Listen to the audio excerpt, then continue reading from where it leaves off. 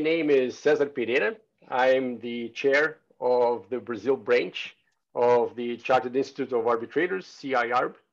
And um, uh, it's, uh, it's a big pleasure to be with all of you uh, today uh, and to have our first um, uh, uh, event dealing with, the, with technology and dispute resolution based on a project that, that the Brazil branch has started some time ago. Uh, of developing different areas of expertise within the branch. Uh, uh, we have here with us Carmen uh, who is the head of the subgroup of technology and dispute resolution, um, which is subgroup, which is responsible for this webinar that we're starting right now. And um, this um, event uh, has uh, to do with um, development that we are all uh, certainly, uh, we have all uh, certainly been feeling for the past few months, which is this acceleration of, uh, of the, the, the, need for virtual solutions in dispute resolution. we, we have all been um, becoming used to um, uh, virtual hearings to the, the substitution, uh, to the replacement of uh, uh, the exchange of documents for, uh, for, for, for uh, a, a, a, virtual documentation, for electronic documents, and all, all, these things are happening. But um, and, and actually, the Chartered Institute of Arbitrators was one of the pioneers in discussing virtual hearings. And uh, as you may know, um, in April, uh, the uh, CIArb uh, issued uh, some guidelines on online dispute resolution and in virtual hearings.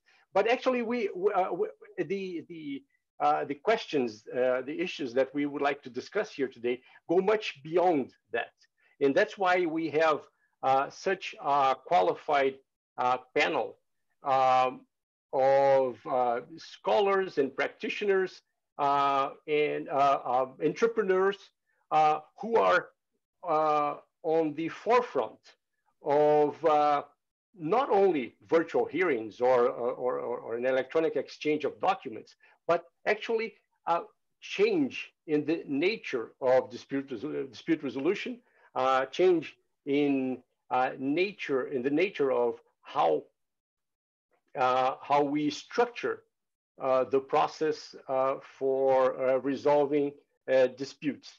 and, and that involves online dispute resolution, that involves artificial intelligence, that, that involves um, the use of data uh, to uh, analyze uh, and, and, and, optimize dispute resolution in, in general. Uh, you may, uh, in, in, in different jurisdictions, uh, you, you, may, you may have uh, come across uh, situations in which um, government actions, and we can take that as a proxy for, uh, for any type of decision making. government action has been, has, has, has been relying on algorithms for faster and allegedly more effective and more efficient uh, decisions, but on the other hand, has um, come across uh, difficulties in terms of how those algorithms are structured, um, what type of biases may be hidden uh, behind those algorithms, uh, what type of accountability uh, is possible uh, when an algorithm is used for government actions. Um, uh, that, that, that, that was the case in, in Italy last year in some uh, decisions that related to the allocation of professors in the university system.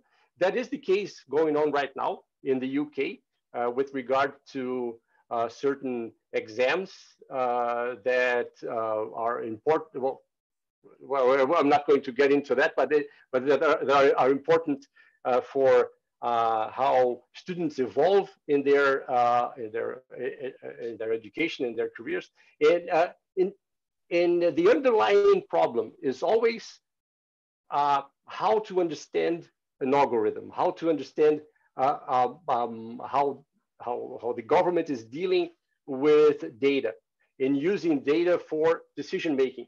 In that, in a way, is the same problem we have in dispute resolution. How we how, how, how can we understand um, the way an algorithm supports decision making, uh, supports um, um, the uh, uh an expert uh, examination of, of issues, um, uh, and to what extent we can rely on something that we may not be able to understand fully.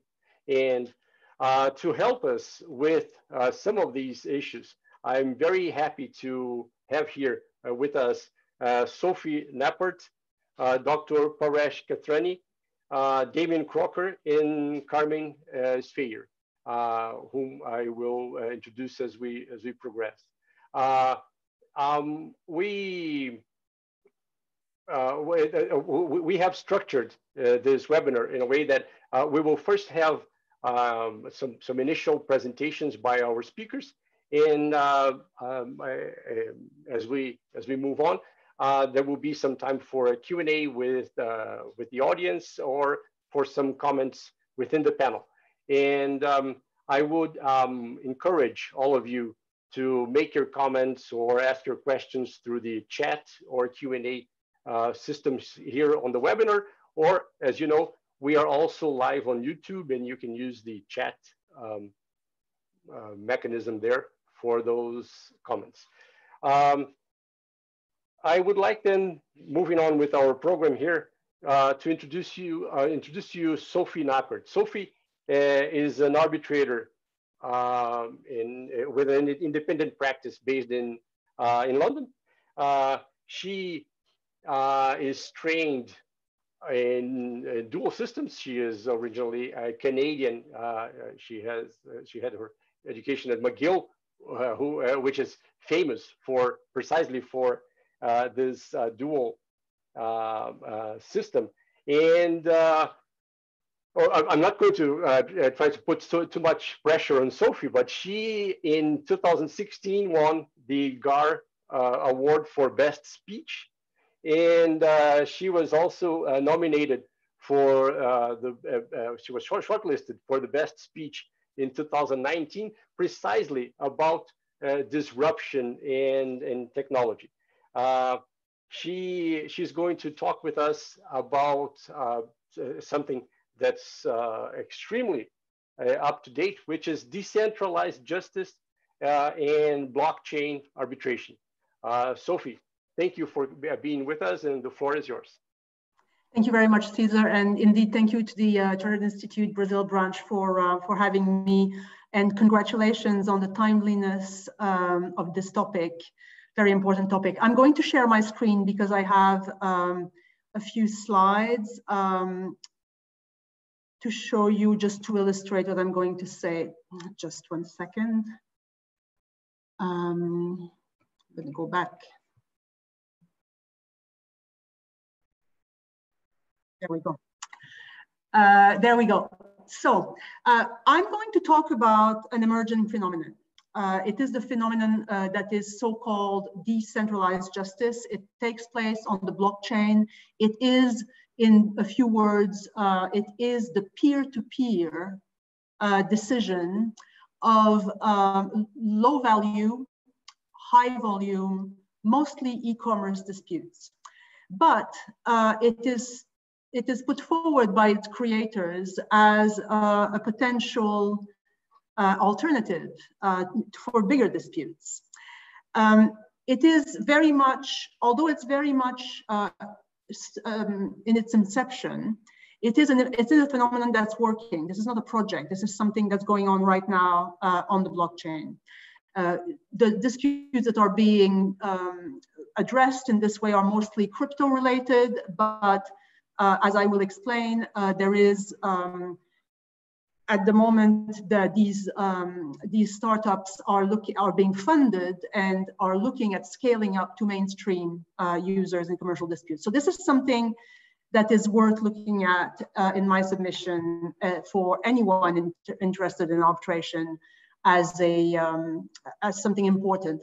My personal angle on the technology front, uh, be it AI or blockchain, um, has always been and remains be, uh, as an arbitrator and as a practitioner, how, what is the place of the human mind uh, alongside technology? And how do you, as a human decision maker or as counsel, how do you partner up with technology to make the arbitration process better, more efficient, less costly, more responsive to users' needs. That's very much the angle that I look at. Now, it may well be that decentralized justice uh, could be a partner as opposed to a rival. And that's what I would like to explore with you. Um, blockchain, first of all, is a technology, as you know. It is the distributed ledger technology, and it automatizes certain transactions by uh, way of smart contracts. Uh, just by way of um, a reminder, um, and obviously my panelists know all about this, but for those of you perhaps who uh, are less familiar with it, it was created and rolled out initially to coincide with the aftermath of the financial crisis in 2008. And there was a resulting distrust in big finance. And so it was rolled out as a network of peer-to-peer -peer, direct financial trades for cryptocurrency, the most well-known of which is Bitcoin. And these trades, these transactions are hosted on thousands or millions of computers simultaneously. Hence the what they call the um, the fact that it is completely distributed, it is not centralized, it doesn't have an authority, it doesn't have a keeper. Everyone keeps um, a, an identical copy of the transaction simultaneously. Blockchain is premised on the core principle of no central authority, no central database, free of transaction costs. Obviously, participation in it requires uh, an investment in, in hardware, but you don't pay once you're on to transact. And it's open to anyone, and it is not owned by any single entity. That is the premise. There are, of course, nuances on top of that. You can have more private blockchain, but the original thinking was very much that. But, and that's the tool. So you can make, make it do whatever you need it to do. And for the moment, it's got a fairly, I wouldn't say mainstream, but a fairly well-known and accepted use case in the financial sector. And we're going to look at um, uh, in this presentation at um, the justice sector for it. What fascinates me about blockchain is that it's more than a tool. It is an instrument for social revolution. And it is the social movement aspect of blockchain that is a direct disruption to arbitration and by and to state courts, uh, for that matter, in the form of what has come to be known as decentralized or peer-to-peer -peer justice. And these developments of decentralized justice require that as lawyers, we turn on their heads fundamental societal pillars, such, such as what constitutes justice, who should dispense it, who we should trust dispute, as dispute resolvers. Do we, do we trust a, a limited number of arbitrators who have all been trained in the same manner, roughly, or are thinking in the same way, or do we trust our peers? And do we trust a centralized institution, which in certain countries may not be independent from governmental power? Or do we trust a network of individuals? Is the monetary incentivization of decision makers to come to a consensus decision, which is the way that these decentralized justice systems work, is that compatible with the concept of fairness in dispute resolution? So these are the questions at, you know, these are huge questions and they are at the center of this emerging um, system. Now, I will come to um, Kleros. Now, there are a few players in this space. a few startups. Kleros is one of them. It is the one that I know best, and so I'm going to talk about it. It's also the the the the, uh, the, the reason why I chose it for an example is because it's probably the most purist about uh, the decentralization of its model uh, for the time being anyway. We'll see. We'll see how that uh, where that goes. But for, so it's, it's it, it applies a very um, pure ethos of uh, decentralization and peer-to-peer justice. There are uh, Kleros has competitors. One of them is called JUR, J-U-R, which um, operates a little more. Um, first of all, it's got more lawyers behind it, and you can you can see that it has more concern about enforcement of the decisions in the real world, off chain, for example. Uh, but Kleros, for the moment, uh, is uh, is very much taking place on chain, and it's an application for the resolution of disputes that is sitting on the Ethereum blockchain, and it allows randomly selected stakeholders in the blockchain the, what Kleros calls jurors, as you can see uh, on the illustration, to pass judgment on smart contract disagreements according to a coded matrix of predetermined outcomes and in accordance with a system whereby the jurors are financially incentivized to come to a consensus decision. And those jurors who do not come or, or agree with the majority are financially penalized. That's how, according to Kleros, you incentivize complete random strangers into being fair and being um, just. The decisions uh, rendered by that panel may be appealed, and they may be appealed not only by the disputing parties, but also by the other jurors, those who were dissenters and who feel that ultimately an appeal court would agree with them and they will be in the end uh, financially rewarded. That is the system that Kleros calls decentralized justice, and it calls its process arbitration. Earlier this year, uh, Kleros was granted just under 800,000 euros by uh, a public investment bank in France, a state entity, to launch a project called Project Themis, which aims at making Kleros intelligible and usable by mainstream corporate and institutional customers. And the brief includes uh, obviously a technological angle, but also very much a legal angle that looks at the alignment of the protocol with arbitration law and procedure. And it's part, um, as, uh, by way of context, it's part of a, a global effort by France to offer blockchain-based solutions for enterprises. So this is something that is being, as I was saying, um, encourage and invested in. So from this perspective, it's a very clever combination of crowdsourcing, blockchain technology, and game theory. The creators of Kleros say the following in their white paper. Every step of the arbitration process, securing evidence, selecting jurors, is fully automated.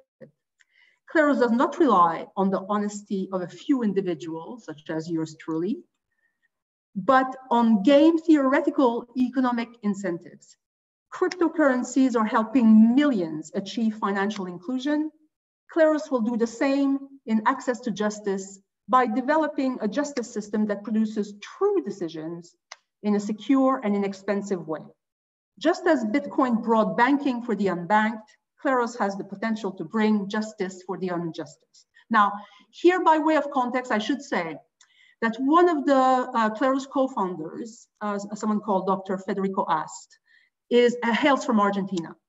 And I think one of the things uh, that uh, really spurred his, um, his uh, idea for Kleros was the fact that he felt that his country's legal system was failing um, small and medium enterprises and individuals and, and the access to justice for him uh, and the distrust of uh, his peers and countrymen in their justice system was a, a huge part uh, of, uh, of his decision. So in looking at those uh, emerging startups in decentralized justice, um, I think it's quite important for someone like me sitting in London, hailing from Canada, having the luxury of a justice system that works, to realize that not everywhere has that luxury. And so therefore it may make a lot of sense um, to tweak the justice system, centralized as we know it, into something that people might have access to and trust.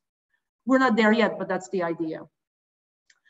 So this is, of course, a system that offers unmatched flow cost, unmatched security, and unmatched speed. A Kleros, jurors, a juror has said that his time on deciding a given dispute varies between five minutes and four hours. Of course, these are binary disputes, you know, pay the claimant, don't pay the claimant. They're quite simple, but they are one of the parts of Project Themis that uh, they're doing with the French uh, investment is to explore more complex disputes. Um, perhaps also for a generation that puts a premium on likes and influencers, the common sense input of dozens or hundreds of people who come to be see, will come to be seen as significant and much, much more valuable than uh, the musings of uh, one or three arbitrators who are perceived as being detached from uh, the real world. Now, there is a lot in the underpinnings of the decentralized justice model that set off very loud fire alarms uh, in the ears of any disputes lawyer. The Kleros system relies heavily on game theory, and game theory is a study of mathematical models of strategic interaction amongst what are premised as rational decision makers who do not have to trust each other or know each other, and who will converge on a given decision for the primary purpose, and that's important, of maximizing financial gain. So in simple terms, Kleros jurors are told that they will make money if they decide according to the choices that everyone thinks everybody else will choose, and they will lose money if they don't. Now, it is true that it, this serves a real need of access to dispute resolution in the era of e-commerce, where you need an immediacy and a speed of decision making that just is not present. And these disputes just go completely under the radar of a court system, even small claims, or, um, or arbitration as we know it. So there's no, there's no question that there is a need there. But however, in go in in developing their their um, their concept, Kleros, in my view, takes some liberties with concepts that underpin democratic society's current understanding and constructive justice.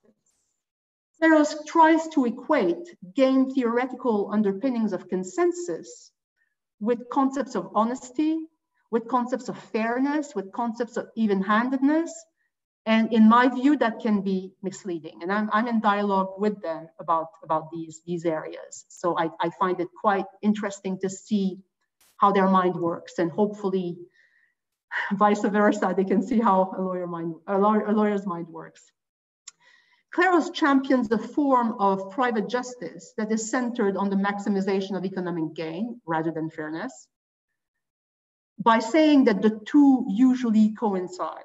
Now, to my knowledge, there's been just over 300 cases decided on Kleros as we speak.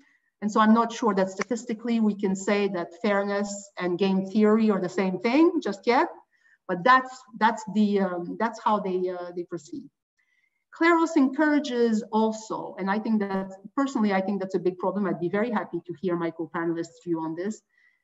Kleros encourages what I call the uh, objectivization of justice for private gain. So what's at the center of the process is no longer the parties' dispute. In fact, the parties lose control of the process for the moment that they press go to Kleros with my dispute. They have no say in jury selection, which is done by an algorithm. They can put in evidence, but so can everyone else because it's all public on the blockchain. And they can also um, appeal, but so can all the jurors. So they pretty much lose control of their disputes and the core motivation of jurors in arriving at the decision is how much can I make out of this? Personally, even trying my best, putting an access to justice prism I find that's a high price to pay um, and, and has the potential to veer off course quite, uh, quite dangerously unless you have some governance or checks and balances that ju are just not there at the moment. And that I, I, have no doubt will end up being there, but it's, it's important to flag this at, at, at this, uh, at this stage. Finally, of course, uh, another big question is the interaction of this ecosystem with the rest of the world for enforcement purposes off-chain uh, and, uh, and the applicability of the New York Convention. So I've prepared a little slide that looks more specifically at some of the tension points. Very, I mean, I'm sure there are many more, but those that I, I find glaring. And where I think um, a pact for the future would be to try to align what Kleros is proposing and its model of, you know, inexpensive, quick, immediate, e-commerce driven uh, model with the more uh, important aspect of fairness and, uh, uh and uh, the arbitral process.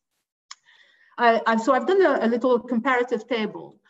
Um, the random selection of jurors, Kleros says, ensures impartiality because we don't know who they are. They are anonymized. Uh, they're randomly chosen. I mean, they are randomly chosen amongst a group who self-select by putting money on the table and saying that money means I, am ready to be cast as a jury. It's a little bit as if I were paying to be on an arbitrator's list. Um, there, there are questions to my mind here uh, on the, uh, not only the fact that the parties have no choice, but uh, the diversity of tribunals is a big question mark at the moment. I'm willing to, I don't know this for sure, but that, seeing uh, the way that I've, I've been interacting with the Kleros community, I'm quite sure that 99.9% of these jurors are male and white, um, which maybe for crypto disputes doesn't make a difference. But again, if you're thinking of scaling up, there are questions there to be asked.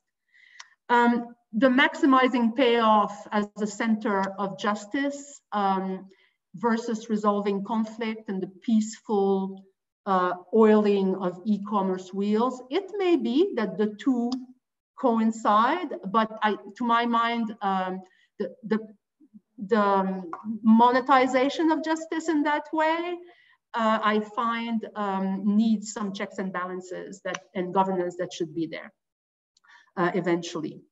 Um, I struggle with seeing fairness uh, and the place of fairness in incentivized consensus. Um, I struggle in seeing the place of legal reasoning in incentivized consensus. For the time being, there's no law involved in Kleros disputes, but again, if they're scaling up, that's going to change. And finally, there's the question of precedent. So blockchain uh, is immutable. Anything that goes on there stays on there um, pretty much. That's the idea anyway. So a lot of those disputes, um, the results of those disputes will find themselves as an immutable precedent on the blockchain.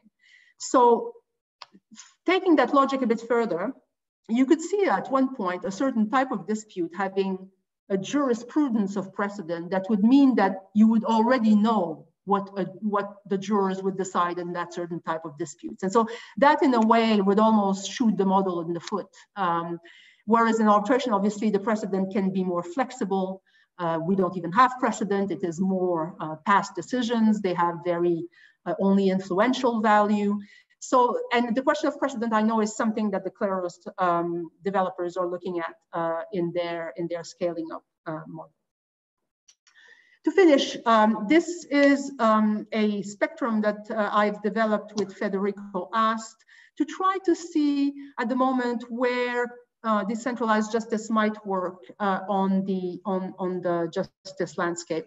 Now, one of the biggest, um, I would say, nemesis of Kleros is artificial intelligence, because obviously, for the moment, they rely on good old human judgment uh, to make their decisions. But it may well be that those some of those disputes will be easily uh, in the future decided by, uh, by artificial intelligence. Now, from the Kleros perspective, uh, that is a development that might occur. They see themselves a position one rung over that in the center, and then they recognize, of course, that there will be always um, the very high highly um, complex, uh, high stakes uh, disputes that are going to remain suited to international operation as we know it. Again, from my prism of partner, partnering and, and finding a space alongside each other so that we make um, the dispute resolution landscape more accessible to more people, maybe that's one thing to aim for. I'm going to stop here. Thank you very much, everyone, for your attention. Thank you, Sophie. Um, that, that's very interesting. What uh, the point you made about, uh, well, uh, among many other interesting points uh, about this, uh, about the fact that artificial intelligence may be an enemy of uh. And uh, in, in, in a way, it gives Kleros a human aspect, right? Because uh, completely. You, completely they are they are and they it's very important to them and uh, the human aspect is is i would say 60% of what Kleros is because uh, the community aspect is extremely important. They do everything. The whole development is put to the vote. It's extremely democratic. So, and of, obviously the decision making as well. Yes. Yeah. I would say. I would say if anything, um, it's, and it's an interesting question, perhaps for our, our ethicist on the panel, uh, to what extent uh, financial motivation as a core goes against human nature uh, is something that I uh, that I find a very interesting question. Yeah, but but, but it's uh, it's it's interesting because uh, the the financial motivation is um, is linked to an an assessment of what the other humans involved in the process will decide, right? So uh, so you uh, so you sometimes you, you, you in a way you need to project what other humans will decide under their analysis of the case so that you will be financially uh, rewarded. Rewarded. It, That's right. It, uh, it's so, called the Schelling point. Yeah, very, very interesting. Uh, thank you. And uh, well, so now we move precisely to Dr. Paresh Kathrani, uh, who is probably well known to many of, of, uh, of you in, in our audience as the director of education and training at the Chartered Institute of Arbitrators in London. Uh, but he is also, oh, he, he was a, a, a senior lecturer uh, at the University of Westminster, precisely uh, dealing uh, in research uh, with issues involving artificial intelligence, robotics, and ethics.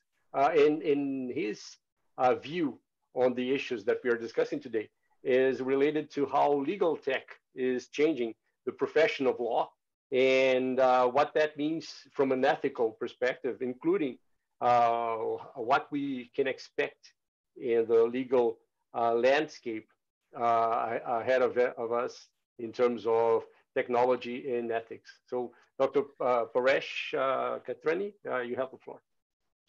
Thank you very much, Cesar, for a very um, kind introduction and also to the um, CIArb Brazilian branch for inviting me to talk today. Um, I'm very grateful to Sophie for introducing the human element um, into the equation because um, there's an element, I think there's an important element that we really can't talk about technology without acknowledging the human element within it because ultimately the law, justice, are essentially about what it means to be, what it means to think, what it means to feel, what, it, what the perceptions of right, wrong, fair, just. These are all subjective, subjective um, terms which we as humans, of course, um, import our humanity in answering those questions. And I guess in talking about the ethical issues that technology gives rise to in dispute resolution, I take a very philosophical approach um, in addressing ethics. I don't take a black letter or a prescriptive approach in looking at ethics. Um, my, my, work is hugely philosophical, and to kind of give you the context for that, um, it kind of stems from my from my PhD research. I'll say a few words on it because I think that will be a good uh, sort of frame for, for what will follow in my talk. So uh, my PhD was on refugee law, um, I worked with refugees um, for a number of years, um, helping them with their human rights and asylum applications. Um, and must have helped about 2,000 asylum seekers. And during that time, I often thought to myself, well, we have the Refugee Convention, we have international law, we have all the what the what the what the laws say, and but but the way in which they are applied to, to asylum seekers it's, it's often quite prescriptive, quite black letter, can, can be quite dry, quite mechanical in its application. And it made me think to myself, well, what is there, but what is the law? What is there about the law that makes people take a different, different approach to it? And of course, giving rise, what is the law? There is no one right answer. Jurisprudence tells us it's natural law, it's positive law, it's critical legal theory. There are many different interpretations of what the law is. Actually, in the end, in my PhD research, I ended up looking at um, international refugee law from an existential ontological perspective that, you know, you might, you know, like Jean-Paul Sartre, for example, I don't want to go too deep into philosophy here, when he talks about in his lectures that um, it's it, existence precedes essence, that first of all, we exist as human beings and then we come to define what the world means to us, as opposed to essence defining our existence. There is no rule book out there that tells us what's the right way to act. So when it comes to asylum seekers, for example, um, really the law may tell us one thing, but it doesn't mean that we lose our humanity. And ultimately, when it comes to the law, it's important for us to um, take a human approach. And I and so um, what my research brought home to me was that in approaching ethics and, and and, and, and the law, it's not just about what the rules say. It's also important to kind of bring it down to its common denominator, which is that the law is about humans when we when, when, when a client talks to a lawyer, it's not just a client-lawyer relationship, it's a human-human relationship. When two lawyers, two, two parties before an arbitration are talking to each other, it's not just about, um, about you know, what, what the law says it is, it's about legal argumentation, it's about thinking, it's about feeling, it's about saying what you feel is right or wrong in that particular situation. Of course, I mean case strategy, but it's also about human interaction. And um, so when it comes to ethics, professional, there are certain concepts, certain philosophical concepts which are important and which kind of are become more pertinent when we come to look at technology. Professionalism is an important ethical concept. Of course, what is professionalism? It's the idea that somebody goes to goes for, goes to university, goes for training, becomes highly skilled at something, and then is trusted enough by a client who may lack those skills to be able to act in their best interests. Underpinning that is the human notion of trust that one goes to a lawyer, one goes to a, an expert, a professional, because they trust that the, individual in question will act in their best interests and will do what is necessary for them in that, that particular case to ensure that they get the best outcome possible based upon the facts of a case confidentiality is important that we that the, the client can trust from an ethical perspective their lawyer to keep their confidence. Of course confidentiality is, is the bedrock of the of the client lawyer relationship. It, uh, it's important that the client can trust the lawyer. So but what overpins all this what we find in in ethical codes around the world is of course the notion of the best interest of the client. That it's fundamental, it's the primary, uh, probably the overriding duty of, of, a, of, a, lawyer to act in the best interests of the client. And which, which gives rise to questions, well, what's best, what's interests? And you see where I'm going with this. The question I'm seeking to answer is, can a machine do best interests? Does the notion of best interests of a client require that thinking, feeling, acting, doing human agent that is able to look at the client's case, look at the world and determine what's best based on intuition. And can a machine actually do that is the ultimate thesis that I wish to interrogate. That's why I approach it from a, that's why I think that um, approaching it from a philosophical perspective, technology, it's, it's a crucial thing. And I think this was, this, this, you can see the undercurrents of this in Sophie's talk, for example, when she was talking about um, things like fairness, justice, decentralized justice, and so forth. So when a when a client goes to the lawyer, they trust them to be able to dis dispense or discharge their legal services in the most effective way. That they'll essentially listen to them, they'll take their information, they'll do the appropriate research, they'll analyze the case from all perspectives and use their intuition and use case strategy to ultimately advise the client in, in their best interests. So what does, what does technology do? Technology, we've heard it before, acts as a disruptor in this relationship. It acts as a go, it comes in the middle of the human client, human lawyer, and disrupts that relationship in a number of different ways. And it's important to interrogate that disruption from an ethical perspective in my, in my mind. Technology, of course, comes in many different sizes and shapes. We have non-artificial intelligence related technologies, standard things like email, case management systems, video conferencing don't have any artificial intelligence involved, but yet they, of course, are technology that disrupt the I use disruption not in a negative connotation, but they come in and they of course change the legal landscape, and they certainly they influence the, the client-lawyer relationship. One thinks back to 40, 50 years ago, um, before email came along. something as simple as that. A client wanted some legal advice. They go to the lawyer, look them in the look them in the face, have a conversation with them in the office, and it'll be a very close relationship. And of course there's loads of studies that have been done on just how face-to-face contact engenders trust and engenders uh, a feeling of security between the people that are talking to each other. The question because comes as something like email engender the same sort of um, same sort of trust. I mean that and a contemporary twist on that, of course, is virtual virtual hearings. Of course, in lockdown, we need to think of innovative ways in which to carry on with work as usual. And the virtual conferences and virtual arbitrations and virtual hearings are, of course, a godsend, virtual training, for example. But you know, if you look at think of someone like uh, Maurice Merleau-Ponty who talks about the body, I mean, there's studies that have been done real studies that have been done that show that the absence of the, the human body, the absence of the person before you, does have does have some influence on the on the relationship between people, um, and therefore, you know, even, even something as simple as email, if you go back to 20, 30 years ago, you know, from an evolutionary perspective, certainly email has been absolutely wonderful for us. But what has it done to the relationship of trust between um, between humans when it comes to the ethical side of things are, are things which are important for us to consider. But I'll, I'll, say a few words on artificial intelligence. I mean, artificial intelligence is a very broad category. I mean, um, within it, one subset of artificial intelligence, of course, is machine learning. That you know training training machines training algorithms to basically work work to huge massive data sets to kind of whether that be um, reinforced learning whether that be supervised or unsupervised learning that the machine can essentially look at these these huge amounts of these huge amounts of data and spot those patterns and ultimately work out different predictions and different based upon different patterns within the data.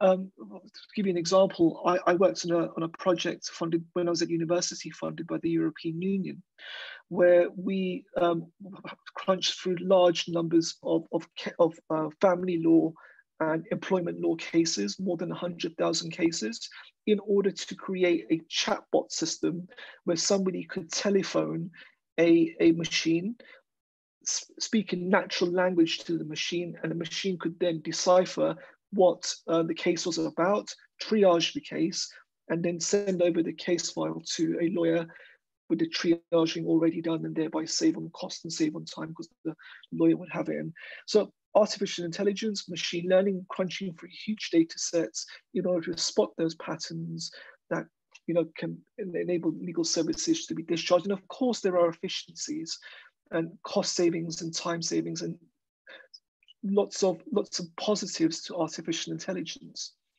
But what are the key ethical questions? And I keep going back to this point that um, machines are disrupting the human relationship between people. Whether you approach it from a justice perspective and say, well, look, the, the basis of the legal system is justice to ensure that fairness, ensure that the, the outcome between two parties is just, it's fair, it's right. Look at those terms, just, fair, and right.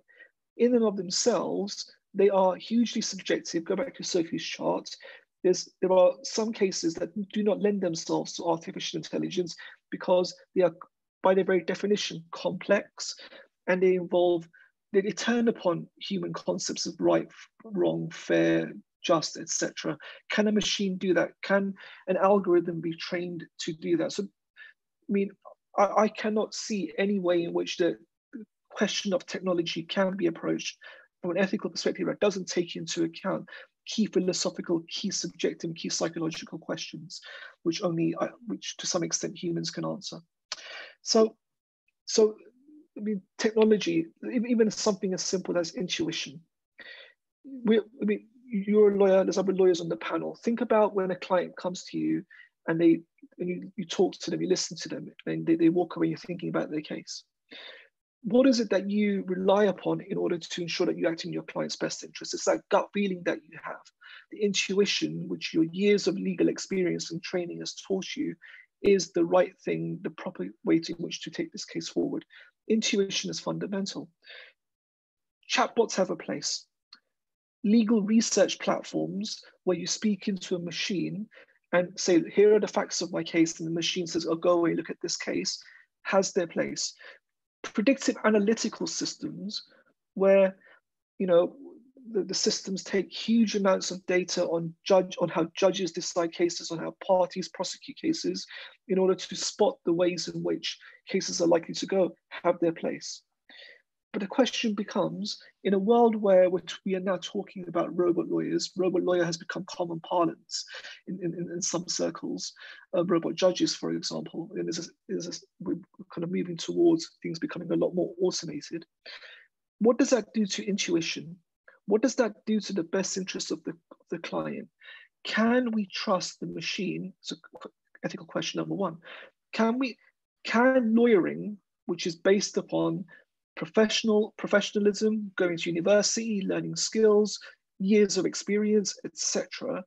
Intuition, can that be done effectively by a machine? Or are there things that cannot be done by machines? And I kind of, I, I really like Sophie's slide about, uh, her last slide about, you know, the complexity versus the, the more straightforward, objective, smaller, smaller cases. Um, what does that mean for I mean as an educationist? What does that mean for legal education? I mean, now law schools, you know, law schools have traditionally taught legal, you know, certain legal skills, um, taking taking instructions, legal research, drafting, advocacy, etc. What does that mean for the law school curriculum of the future um, when it comes to, to kind of training uh, the lawyers of tomorrow? is it fundamental that, that you know law schools start uh, adopting um, legal technology into their curricula in order to ensure that we're training lawyers effectively given what's coming down the road? Um, I said before, uh, artificial intelligence rests upon big data, big data sets. Any less than anything less than big data sets undermines the integrity of the system. But how do we ensure that the data that we're relying is ultimately the best data, the best quality data that we can get? I mean, you can never be 100%, you can never have all the data in the world. How can you ensure from an ethical viewpoint that the data that you're, that, you know, people are training algorithms to are, is ultimately the most is the best data possible in training the algorithm, which is even more fundamental because with technology comes this perception of neutrality people when we're talking to other humans, we know that they we know we know they have the, they have their interests, we know they have their biases, their favorites, their likes and their dislikes. But we often fall into the trap of thinking, well, the machines are, you know, they're not humans. I mean, they don't they're, they're objective, they're neutral, they don't have any, they don't have any sort of um, any particular interest in, in a decision. So therefore we can trust the machine. Can we? It goes back to the question of bias, of course. How do we know that the, the data sets on which the machines have been trained are the, the most optimal, the best data sets possible, and that bias hasn't crept in in in basically putting that, that, that piece of kit together and there's different forms of bias that can creep in. And so can we actually, whose justice is it? Is it the machine's justice or is it the programmer's justice? And that gives rise to yeah, another question. Who who or what is a lawyer of tomorrow? Lawyers, by the are highly regulated. It's a highly regulated profession. Lawyering, uh, the legal profession. It has like doctors. Given that that lawyers are acting in the public interest or act, seeking to act in the interest of those who might be vulnerable, legal profession is highly regulated. To what extent? How do we regulate those who basically put together the algorithms and put together the machines? I mean, do they do we now say that they come within the legal codes to which lawyers are have traditionally or are subject to? What regulatory code applies to, to those people that are putting together these algorithms? Are, uh, is it lawyering by proxy? Are, do we have a situation where people are essentially circumventing what it takes to be circumventing legal regulation by being lawyers in everything but name? So what sort of regulatory questions does, do we have to consider when it comes to essentially asking ourselves, well, who is the lawyer? Is the lawyer the programmer? Is the lawyer the machine? Or is the lawyer the human person who's essentially interfacing with that machine in, in basically um, in sort of taking that particular case forward? black box the black box phenomena is obviously a very it's a very important thing which needs to be considered to what it so you have these algorithms these these pieces, these um, artificial intelligence-based systems, which are making decisions that are absolutely fundamental to some people. but to what extent should we be allowed to kind of go in and unpick um, these, these, algorithms and see, well, on what basis have they made these decisions? Of course, it gives rise to, to issues around intellectual property. You know, you have, have companies that have invested that hundreds of thousands, millions of dollars in putting together these algorithms and, and these pieces of, you know, these pieces of software who might not wish their, their, their, their, work to be unpicked in a court of law or for somebody to go in and understand the code. The code, you know, so therefore we have a situation where the, the, the, black box where they said, no, we're not going to let people go in and kind of unpick. You know? And so to what extent does it lend itself to, to challenge and to basically um, for us to be able to understand the basis of a decision? And one or two, I'll end with one or two final points. There's a whole raft of ethical issues we could consider here. Access to justice is important. Um, I think we are now on the road towards greater automation in in um, in, in legal legal services. And um, and if anything, the lockdown and the pandemic has accelerated that. I still I think we'll see innovation, mass, massive innovation over the next few years, and there'll be a rush to kind of automate things. But with, as we gradually move to online online provision of legal services, does that facilitate access to justice for those who, for example, might not be technology literate or who might not have access to the internet or broadband or machines that they ultimately need in order to access those services. I've spoken to people who, you know, who, often public services delivered by local authorities are, are put onto online platforms, but they are not literate enough to be able to understand how those systems work. So what do what technology literacy? What, so what does that do in terms of access to justice and indeed the rule of law if, if more things are moved online? And it, so that's, key, that's another question that needs to be considered kind of going forward. So no doubt there are, technology has its benefits. It has its benefits in terms of it, it does promote access to justice. It's a double-edged sword, it does. It also does lead to efficiencies. It leads, it arguably leads in some cases to a better quality of decision making.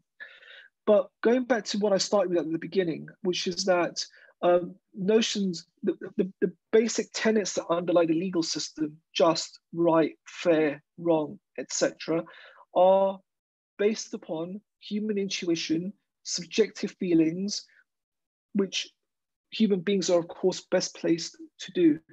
Can machines replicate that and do that in the same way? Or are we looking at a different type of justice? Have we reached a stage where we're essentially comparing apples and oranges.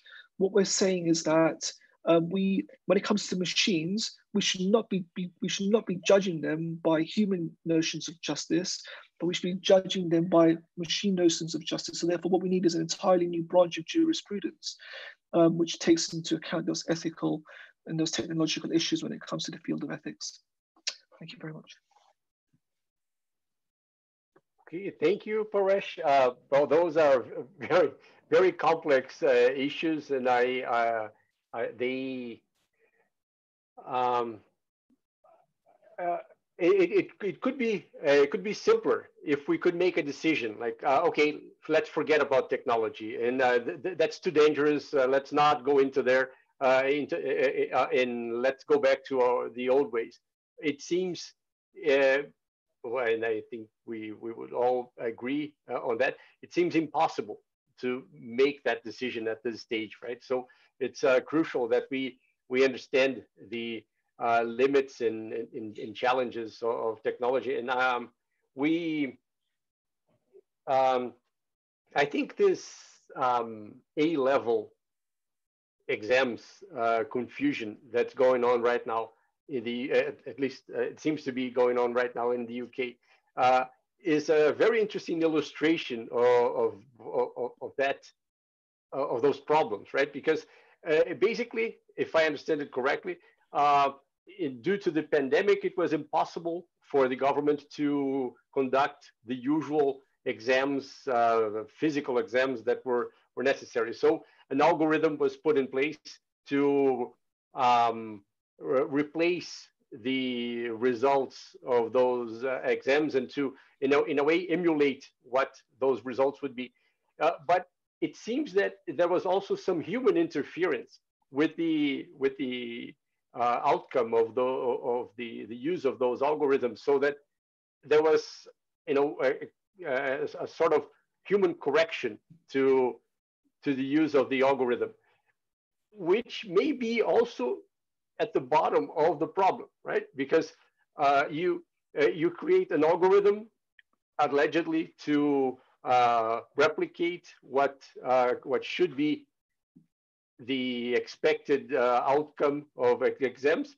But on the other hand, you, based on human intuition, you say, no, no, no, let, us not use the algorithm, algorithm all the way. Let's give it a human correction. And then you may end up with a, with a result that's not human and it's not algorithm. It's uh, something in between that, that doesn't make anybody happy. And so, uh, yeah, uh, those are very complex complex things uh, that we we we need to uh, tackle as we move on. Uh, now, um, following our program here, uh, we will uh, hear um, Damien, who who comes with a with a with, in a way with a different point of view. Damien uh, Crocker is, uh, is an arbitrator. He's the chair of the um, uh, Western Counties branch in the UK, but also he's an entrepreneur. Uh, he, he is the founder of uh, ODR Plat, uh, which is a company that provides online dispute resolution services. and as you will tell you, as he will tell you, um, based on a very interesting um, assumption that ODR uh, uh, uh, allows for greener dispute resolution and uh, has a, an aspect of sustainability uh, that uh, should be especially encouraged. So, well, I'm, I have the pleasure of giving the floor to Damien for his presentation. Damien, please. Thank you, Cesar, and thank you to the Brazil branch for inviting me to talk. it's a great opportunity. I'm just going to share my, my screen and uh, wreck all my credibility uh, with technology. No, I will, fine. Okay, so look, um, yeah, slightly different uh, uh, discussion now. I promise that for the next 20 minutes, um, there'll be no mention of blockchain or AI. Um, so uh, if you if that's your topic, you can go and make yourself a cup of tea. Um, I'm going to talk to you uh, about ODR and about the um, uh, about uh, a little bit about um, ODR Plat, uh, quick advert, and then we'll talk about issues related to ODR. It's not all perfect, um, best practice, and then a little bit about uh, its carbon footprint. Um, it's not as green as you might think. Hey, um, ODR Plat uh, is, a, is an integrated case management and video conferencing platform, uh, which is, is, is secure and also low cost. Um, we are actually the first carbon neutral ODR platform provider in the world.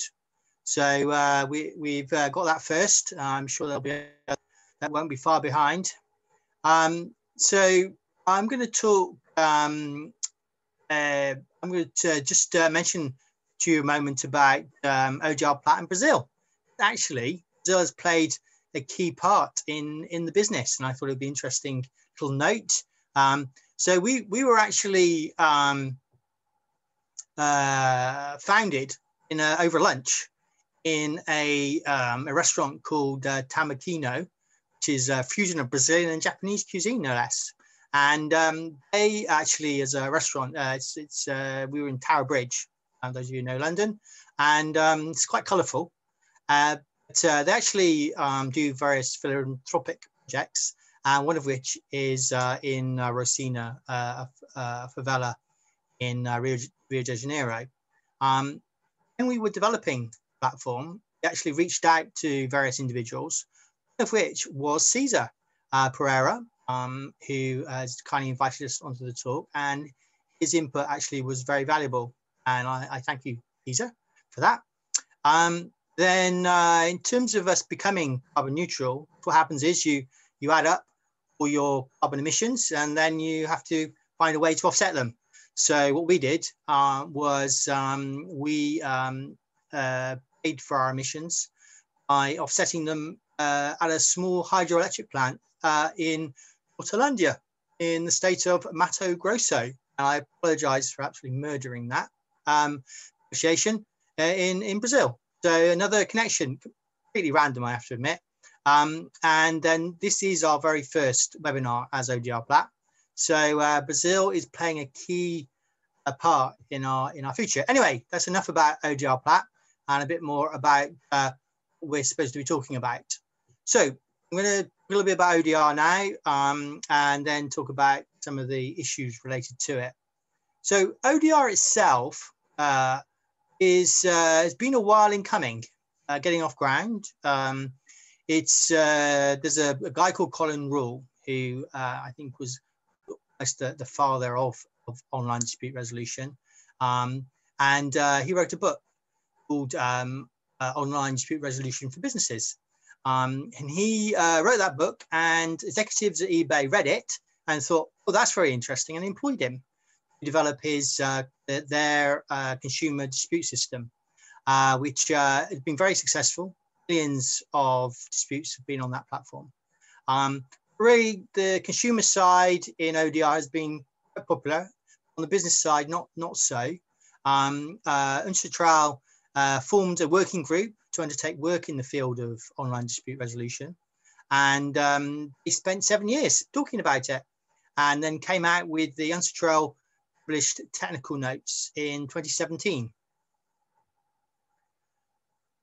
fact is, um, there have been some barriers to adopting ODR, and they fall into three categories technology, human, and legal. I promise not to mention uh, AI or blockchain in the technology section I'm about to discuss. So, skills, um, it has actually been alluded to. Uh, people don't necessarily have the skills to, to uh, turn on a computer, alone get on the internet. Um, conferencing the skills to to use those kind of platforms, sharing their screens, um, getting to turn them off. Um, you have stories on the internet about people who've realized they're live. Um, internet, internet availability. Um, it was mentioned about that, um, not everybody has access to the internet actually in, in, many parts of the world. Definitely that's the case. Um, businesses in a lot of countries though, the internet now is, is available uh, stability of the internet can crash very easily. You have security issues, hacking, um, and Zoom bombing. Although Zoom bombing isn't quite what it used to used to be uh, with the the work that Zoom has, has done. The then you've got the human angle, the skills, um, video conferencing etiquette. Um, I know myself uh, when when I'm on a call, sometimes you uh, don't wait for the other person to finish uh, speaking. You jump in the uh, and also what, uh, what you wear as well. Um, what people have on. Uh, I'm here, sat here now in a, a nice, nice shirt. Um, but many people, when they stand up, forget that not necessarily the shirt is they've got their boxes on as well. Isn't a great look, but not. That's not true of me though. Um, this visibility issues over body language. Uh, people concerned that uh, when someone's doing a, a, a, acting as a witness, you can't necessarily read body language as much as you would like to in a physical hearing. Um, can't see them blush, though I think it's quite easy to see people blush even on um, uh, yeah, conversing. Uh, coaching as well. Is there somebody else in the room beside them? Um, you can't necessarily tell whether someone sat in a, in a corner away or there's something running up and down, some uh, messaging on the screen telling them how to answer questions. The procedural issues time zones. Uh, the norm in arbitration to get on a plane, or used to be at least. Um, uh, now it's scheduling. How do you decide whose time zone takes precedent?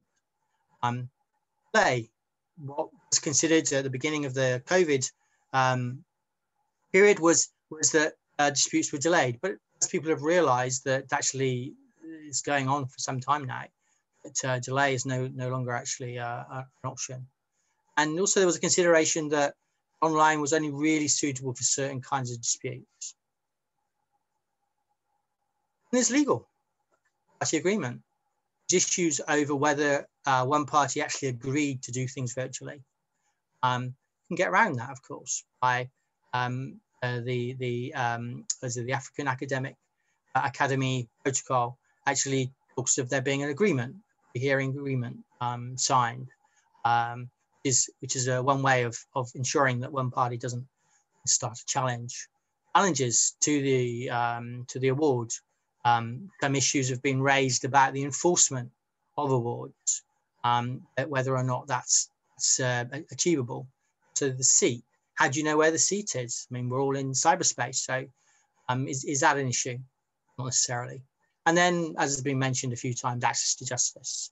Um, people don't have the internet or the skills, um, they get justice. But then the opposite side of that is um, justice delayed is justice denied. So ODR does have a place. Anyway, a difference a pandemic can make. Because the fact is, those issues uh, that have been raised and reasons why people have been sat on their hands getting ready to do ODR actually have come to very little. Because the fact is, there is no choice right now. There is no choice to use online dispute resolution. And uh, as a result, what people have been doing, they've been writing loads of protocols. And you can see on my screen I have a list there, and uh, it's maybe just big enough to read. Maybe it's not quite.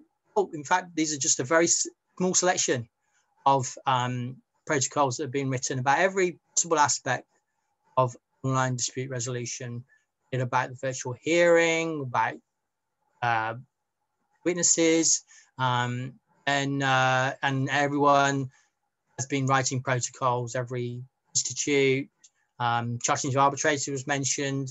written some good guidelines on various aspects. Um, so it's uh, it's it's it's been a case now of uh, realizing that online dispute resolution is here.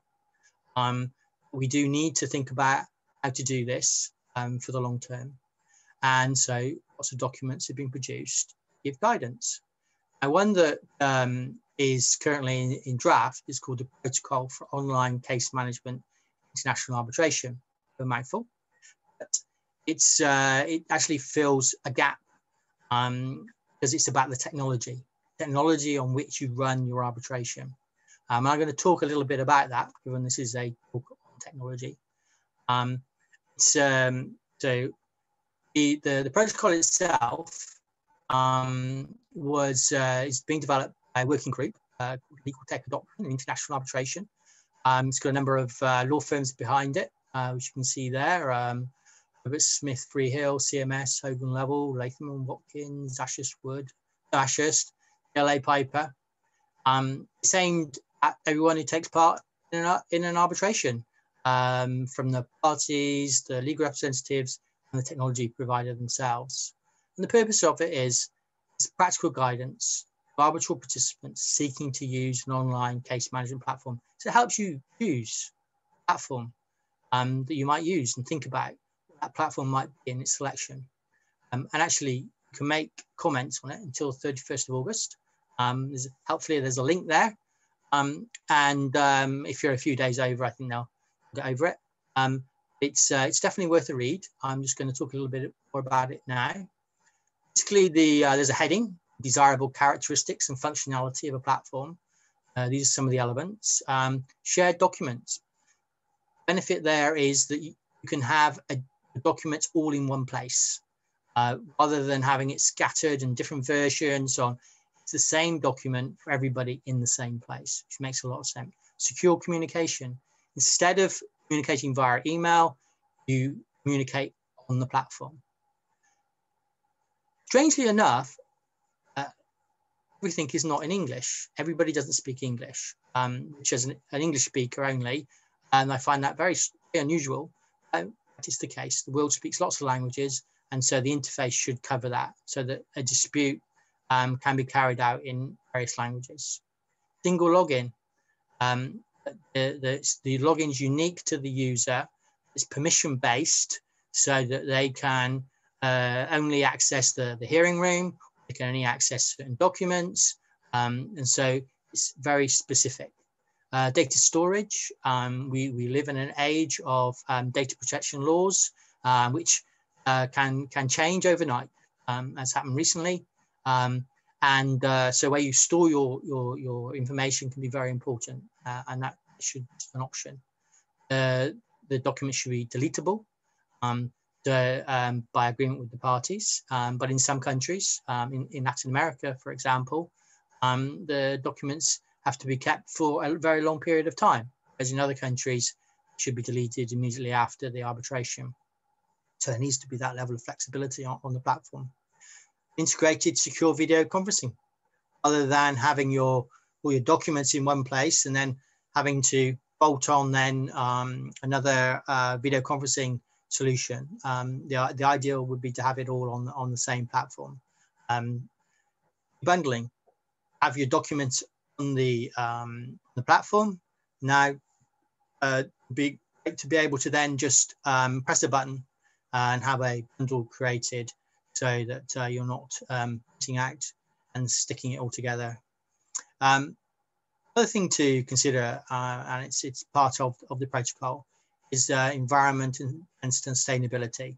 Um, this uh, this is a, an area that uh, ODR PLAP is uh, very keen on, um, and and actually they emphasise the uh, in the protocol the integration integrated secure video conferencing and e-bundling as, as part of that.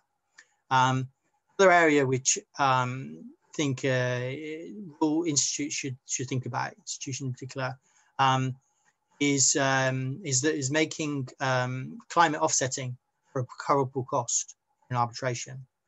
Um, this would uh, would certainly, I think, uh, encourage encourage use of, of offsetting in, in in disputes. And of course, I'm talking about arbitration. These are things that could apply to court, um, online courts, and, also in, in mediations as well.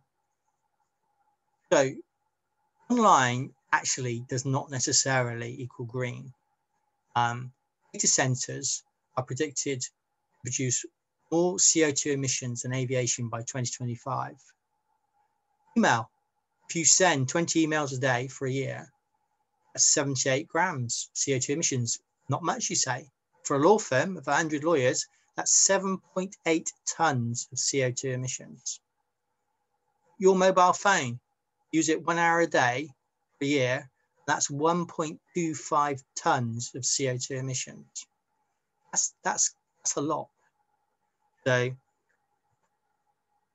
uh, line helps. Stops you getting on a plane. Flight from New York to Rio de Janeiro, business class, that's 3.3 tons of CO2 emissions. 10 flights a year, 33 tons of CO2 emissions. In your car, going to work, 400 kilometers a week for a year in a two litre petrol car, that's 5.72 tons. Being on the train makes a big difference. In the same journey a year by a train is just 0.5 of a ton. Buildings, though, account for 34% uh, in the UK of greenhouse emissions. I Imagine similar percentages applied to many other countries.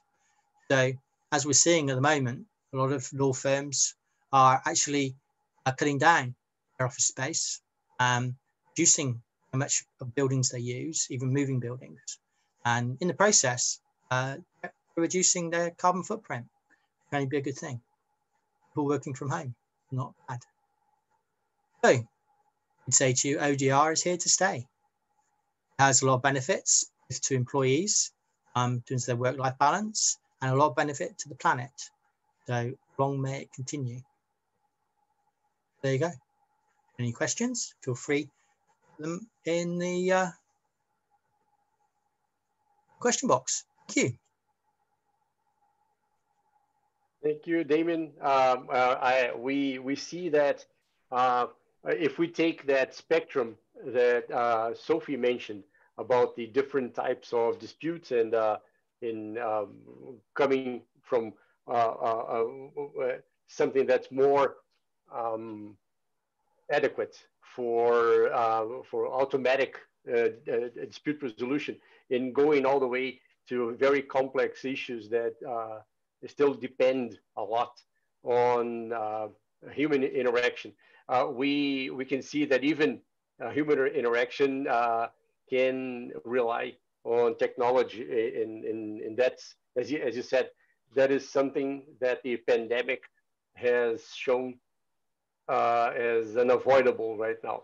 And uh, it's certainly uh, an interesting issue to discuss later, uh, how, uh, how a tribunal should overcome the lack of consensus, the lack of, lack of agreement on this, considering on the other hand, how, um, um, how it may be impossible to move on without some use of technology nowadays. And well, th thank you so much. Uh, well, we, we, we go now to our uh, final speaker, uh, Carmen uh, feed uh, is a lawyer uh, admitted in Chile, in Brazil, in, uh, in the UK. she, she is a member of our branch here in Brazil, as I said in the beginning. She is the head of the subgroup on technology and ADR. And she has had years of experience as in-house uh, counsel in, in, in several different industries, uh, which uh, uh, uh gives her uh, a, a, a, very practical approach to how companies face these issues of, of technology and, and, in dispute resolution in this environment. And she will go back to a topic that we were discussing before, uh, some of the uh, issues related to artificial intelligence and how that interplays with international arbitration. So Carmen, uh, you have the floor now. Thank you, Cesar. Um, so good afternoon to everybody. Good evening to you. Uh, distinguished co-panelists. I am very honored to uh, be able to join you today. And uh, after such interesting presentations, I hope I can do my best to uh, represent here the Brazil branch. And yes, uh, I am going to go back after Damien's uh, very interesting ODR presentation. I am going to go back to uh, issues relating to machine learning, artificial intelligence, and other technologies, but related to its application to arbitration. And I hope uh, uh, it's not going to be, of course, as Paresh um, uh, looked into from the ethical perspective, which I think it's essential. But I'm going to be a little bit more cynical and try to make some um, statements and questions that stimulate the critical thinking uh, of all of us. So having said that, um, so uh, in order to assess this subject, I, I, I started uh, researching and I, I, found this very interesting uh, material um, called the Vienna Propositions for Innovative and Scientific Methods and Tools in International Arbitration. And this was published uh, in a very interesting publication where I also had the honor of uh, uh, writing an article called the Austrian Yearbook of International Arbitrator, Arbitration in, uh, from the year 2020, so it's quite current. So a group of experienced and well-known traditional arbitrators, some traditional uh, conservative, some very young and uh, um, technology friendly, got together in what uh, they called the World Cafe Table, which is quite suggesting thinking of the beautiful uh, cafes in Vienna. And uh, they started uh, to discuss subjects uh, regarding um, internet, uh, artificial intelligence and machine learning, for example. And for this discussion, I just want to um, set it clear what I'm talking about when I say artificial intelligence I am referring to the umbrella term for a variety of underlying computing technologies that exhibit or stimulate uh, or simulate uh, human intelligence. Okay, so just the broad definition. And when we're speaking about machine learning, it's the study of computer algorithms that improve automatically through experience so they can learn. So let's see some um, examples that I have chosen to uh, see whether all this uh, uh, artificial intelligence and technology are applicable to arbitration? How can they help us? And uh, where are the red lights uh, we have to look at? So let's think uh, in the first case that I put is the dispute management process and specifically uh, the early case assessment. Uh, so we all know that early case assessment encompasses actions and assessments to determine the best suited way to manage a certain dispute. And it's also a very well-known concept in arbitration.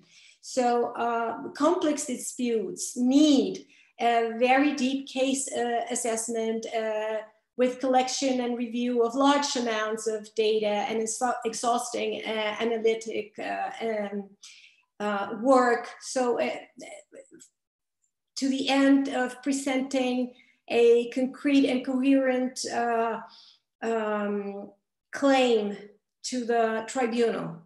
So it involves gathering of information, it involves identification of the client and the opponent's business interests, uh, and also the analysis of the forum and of uh, who is the other part in the dispute.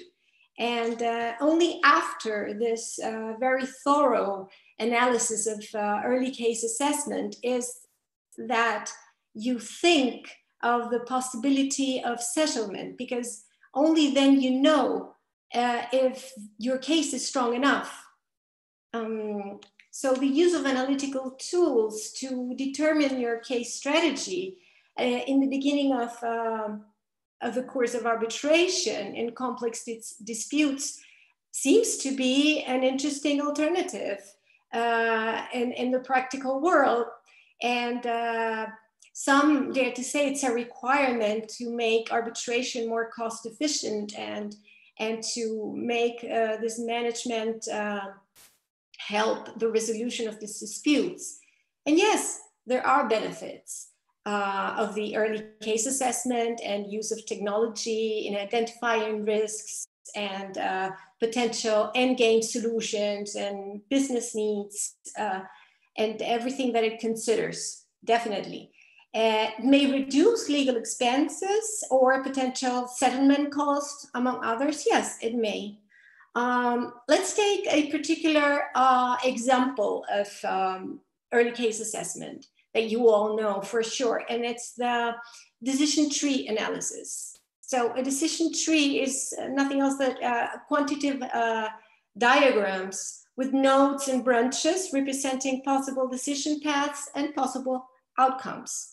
So in a way or uh, another, even if you haven't heard about decision trees, which I doubt, uh, all of us, when facing a uh, dispute, uh, we build this kind of uh, mechanism.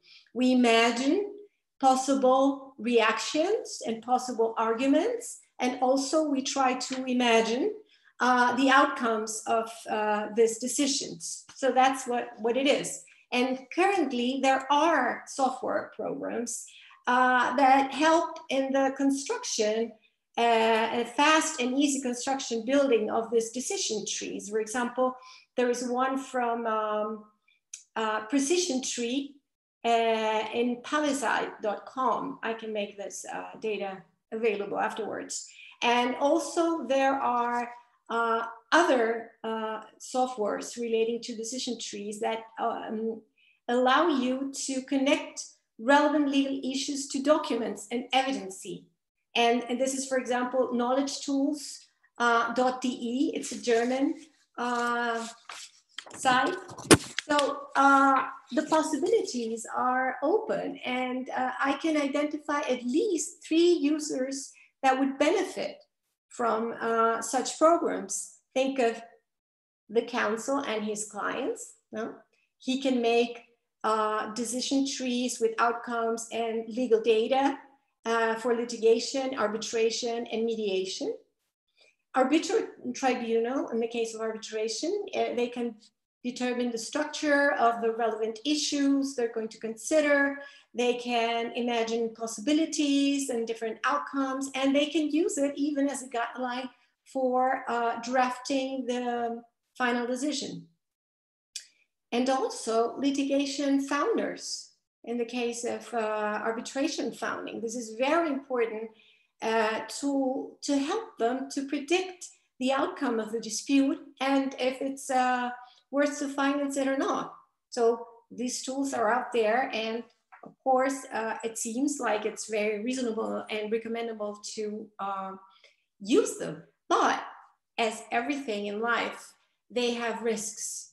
And uh, I want to quote a professor, a German professor called Ulrich Hagel, uh, who wrote a very interesting um, article called uh, Der Unternehmensjurist als Risikomanager, die mysteriöse Welt von Risikoanalysen und Entscheidungsbäume, which is nothing else than uh, the commercial lawyer as risk manager and the mysterious world of risk analysis and decision tree. So what does he say? I, I found it particularly um, interesting. He says, no one should deny that a decision tree is only as good as the thought and analysis that goes into it.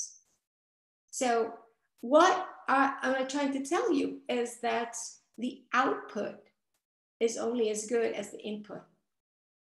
And you can have the best program, but it's the quality of the information you put into it. And I'm going to go over and over this uh, during my presentation. From this, from what you put, is uh, the uh, kind of analysis, the quality and quantity analysis, and the certainties that you can get as output. So this is a very important thing to bear in mind. I can think of two main risks of a decision tree uh, made in the way you want. First of all, if you are the party's counsel, uh, you might have different understanding of what the key legal issues are than the arbitrators. That's one risk. So you can start a complete, a completely wrong path of decision tree because you have a different standpoint. And the second one is that as party counsel, you may fail in determining the dependency of the different legal questions. So you, you post them in an inaccurate sequence. And this can also impact the outcome of your uh, predictions with the decision tree. So um, the risk is at the very end an imprecise estimation of the outcomes and uh, the possible risks in litigation. So that is one example where we have uh, benefits and downsides. Uh, the next one that I would like to uh, propose to you is the big data predictive analytics. Uh, that also had been uh, had, has been mentioned by Paresh and I think uh, somehow by by Sophie. I think this is very relevant because predictability in international arbitration is paramount. Um, clients would want to know what their chances are for success. So um, the chances of success uh, in a claim or in a defense uh, impact the client's decision to proceed with the claim, to launch a defense, to look for a settlement, or even to look for alternative dispute methods different from arbitration. And this is also important for arbitration funding for the same reasons. So the term big data predictive analytic combines two different ideas. One is the predictive analytics, which is an area of statistics that deals with extracting information from existing data in order to predict future outcomes and trends. This is a definition according to Van Bijl. So they use different techniques like machine learning and like predicting modeling. And big data is the collection of large and complex data sets. So the prediction in this case is based on this big data, which is a large and complex uh, data set. And uh, in the legal context, uh, big data predictive analytics can be used at least in the following to predict um, how a specific legal question will be most likely decided by a court or an arbitration uh, arbitration tribunal or a single arbitrator, and what arbitrators' personalities, culture, values are. So the personality of arbitrators, as you know, may differ, and this may really swing the outcome of cases sometimes. And so we're speaking about the idiosyncrasies of arbitrators and arbitrator panels and uh, the broad discretion that arbitration arbitrators have uh, to apply the various applicable laws and all this single causes they cause a great amount of uncertainty. So if we could use big data predictive analytics to make things more sure we do it. Yes these analytics are a tool to to help and find make arguments that are better if we consider the certain personality of the arbitrators that compose the panel. How do I present my case? How do I present myself? How do I gain the attention of the arbitral panel if I have this information in advance? This might help me. So in the case of um, investment arbitration, this is quite easy because uh, many awards are public. So there is a whole bunch of information available. Not so easy is in the case of international commercial arbitration or ad hoc arbitration, where the awards are generally not public. So this presents a challenge for the use of big data predictive analytics. And uh, it's harder for counsels and clients uh, to make accurate predictions of the outcome and chances of success. Uh, where is it used then? Well, there's a good example of machine learning like technology used by the European Court, uh, not used, but uh, used in cases to predict the outcome of cases, I'm sorry, uh, from the European Court of Human Rights. This is currently being used. Um, so in general, we can say that machine learning can help uh, counsels and clients to increase predictability for claims and uh, providing more accurate information to decide uh, whether to take a certain step or not. But it's important to know, uh, and here comes the flaw, that um, machine learning analyze the outcome based on past cases.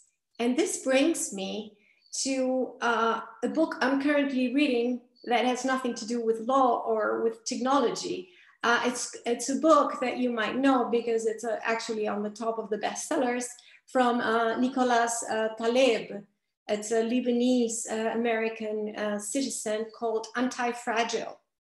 And one of his comments is very, very interesting, especially if you bear in mind that he wrote this book before COVID-19 came up.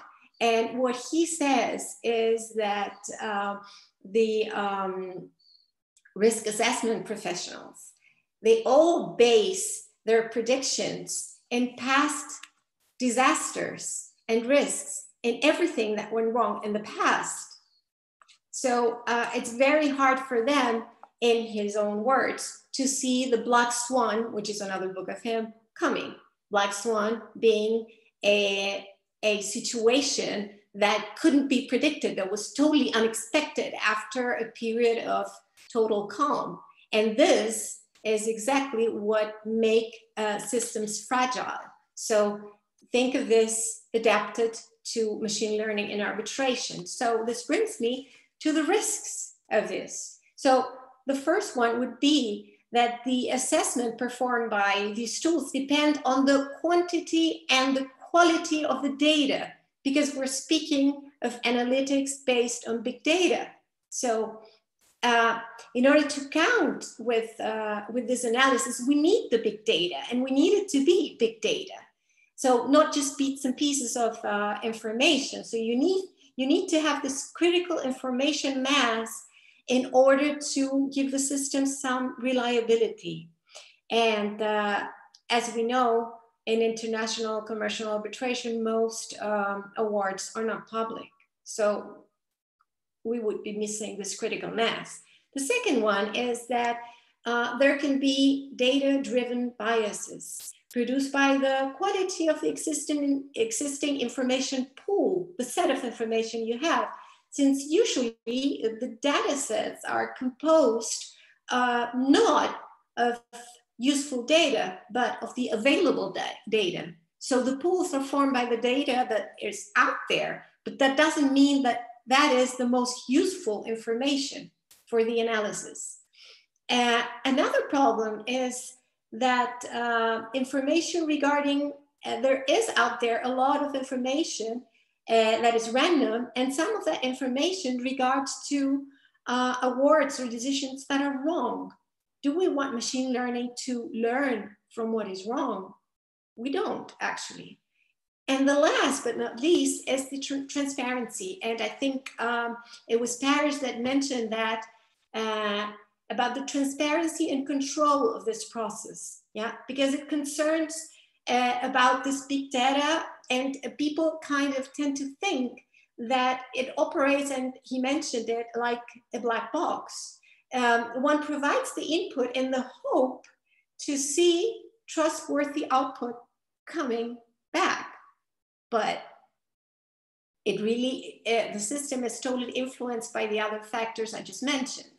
So uh, that's it. The gentleman from this uh, World Cafe table concluded at the time, and I want to quote it but because I think it's interesting that had been said here in one way or the other, is that the mind cannot be replaced. Yes, we can, after uh, revising the analysis, disagree on it and uh, follow our guts feeling, our instinct, our uh, preparation, our years of experience, as uh, mentioned it as well.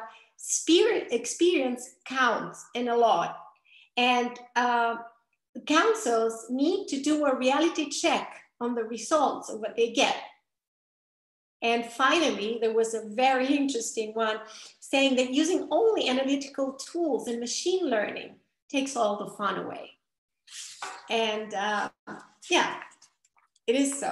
So I am heading to my uh, last example, uh, which is uh, what someone called the shortcomings of human arbitrators, like emotion and the arbitrator's biases.